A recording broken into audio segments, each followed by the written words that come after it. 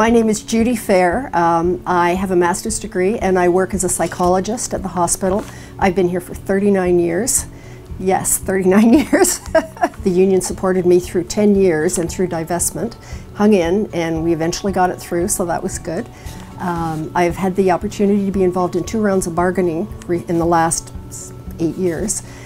I've really enjoyed working with everybody, and I think the union has focused on everybody. It's fair, it listens to everybody's needs, so I think that's a really good reason to bargain all together.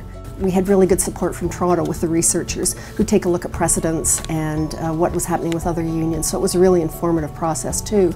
You got to find out what was happening in other unions. You know, OPSEU is invested in your work experience, and I think you need to be invested in OPSEU to get the most out of it.